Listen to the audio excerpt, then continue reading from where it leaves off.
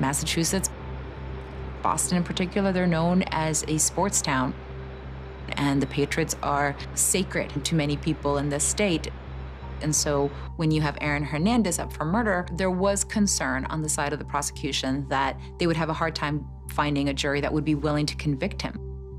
You know, Boston juries are notorious for letting people go, especially people with some celebrity. There were people showing up in his mm. trial waiting for hours to get in so they could wear their 81 jerseys and show support. You know, there were women who were still weeping over him every time he walked into the room. It was just ridiculous to see the fan base that was so determined to insist his innocence.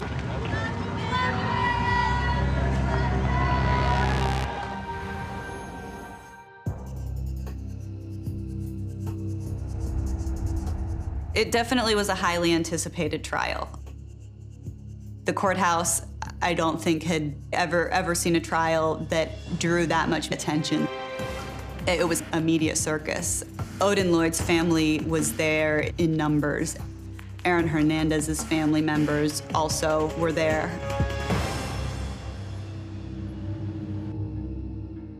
What made this case fascinating was you had two sisters Shaneah Jenkins was the sister of Shayanna Jenkins, Aaron Hernandez's girlfriend, who would later become his fiancee.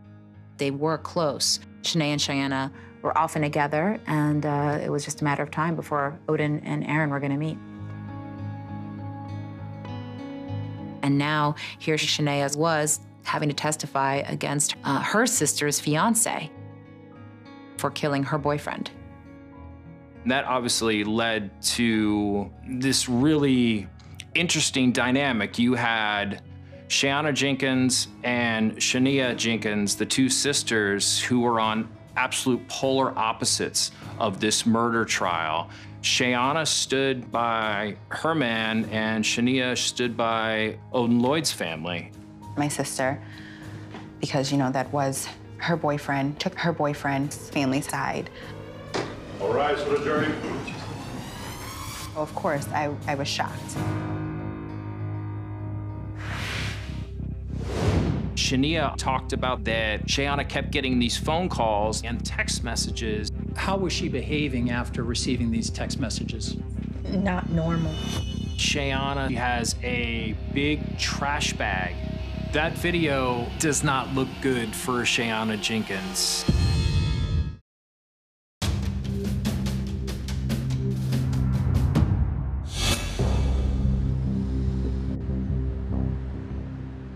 As the trial begins, all eyes will be on Aaron Hernandez.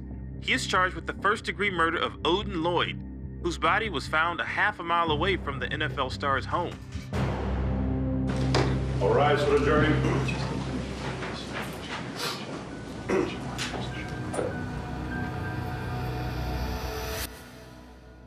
As the trial began, you, you don't know what to expect. It's a whole, it's a whole different life. You're scrutinized. Mentally, it takes a toll. You have to develop a thick skin. And I completely have a thick skin, not by choice, but I have a thick skin and I'm just built this way now. It's a learning experience.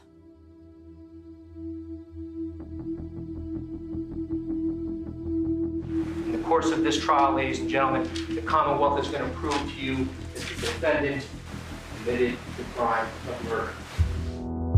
Bristol prosecutors weren't the most elegant prosecutors I'd ever seen. They didn't tell a story, they didn't weave a narrative, you know, it, it wasn't the sexiest prosecution, for lack of a better word, but they had the evidence. They had very strong, compelling evidence that was difficult to refute. He said he wasn't present at the homicide.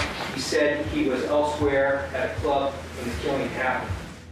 There were two reasons for the trial being as unusual as it was.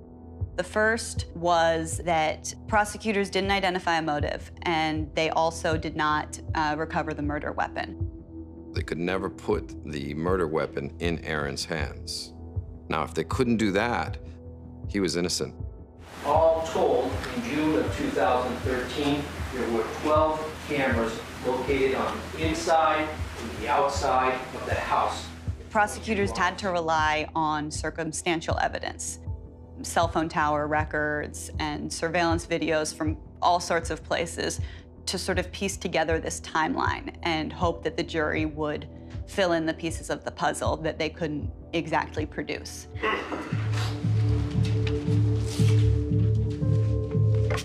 Aaron Hernandez is an innocent man. It was clear from fairly early on that the defense was going to hint that perhaps Wallace or Ortiz killed Lloyd. Ernest Wallace and Carlos Ortiz. Uh, they had been arrested and were awaiting trial for first degree murder, but they did not testify against Hernandez.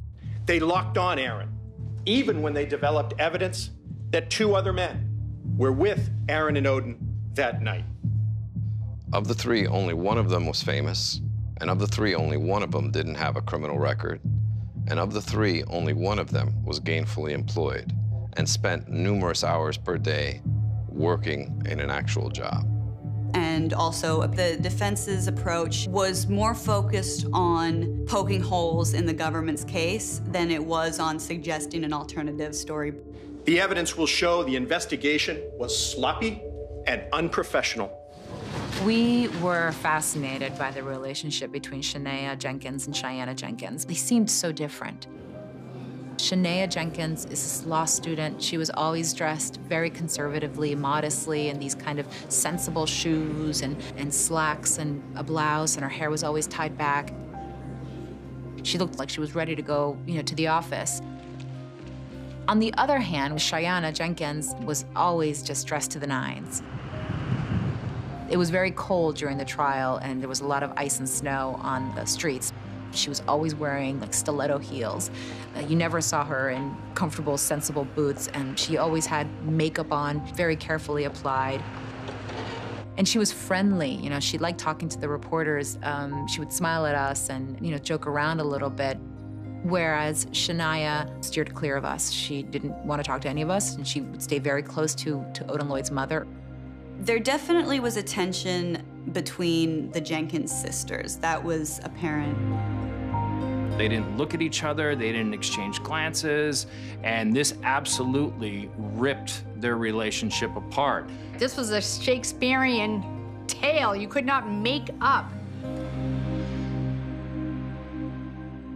Sitting through some of the things that my sister said was, was very, very hard because he was always good to her. Did you meet Aaron Hernandez at some point? Yes. How long ago did you meet him? In high school sometime, I believe. In, you know, the, the sitting on opposite sides, I mean, this is someone that she had known for years, opposed to someone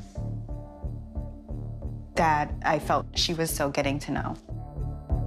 Um, but, you know, I chose how I was going to view things and how I wanted to deal with things, and she chose hers.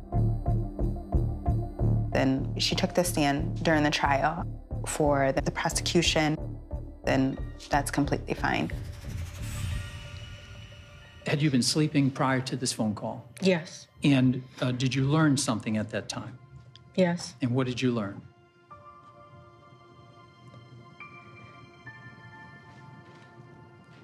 That Odin was dead.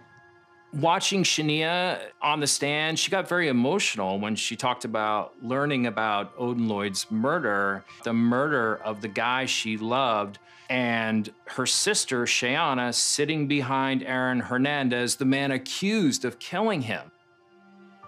As a result of learning that, did you call anybody? Yes, Shayanna.